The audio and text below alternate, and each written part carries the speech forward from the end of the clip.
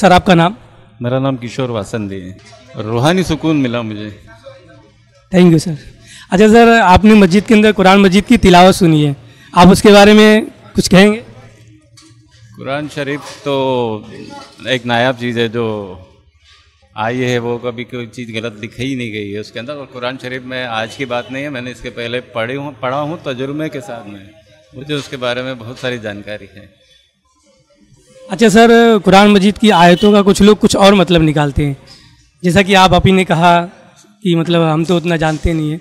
बेहद लोग अलग अलग निकालते तो उसके बारे में आप क्या कहेंगे? देखिए, कोई भी मज़हब किसी को गलत चीज़ नहीं सिखाता है।